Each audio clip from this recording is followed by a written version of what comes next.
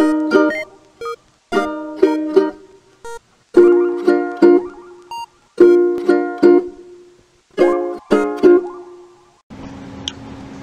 friends!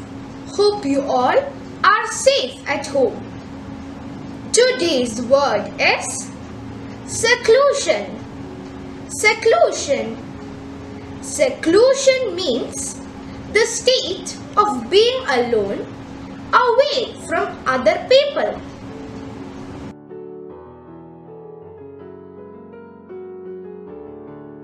In order to study, I had to go into seclusion in my study room. He spends much of his time in seclusion in the mountains. Hope you understood today's word seclusion. See you later.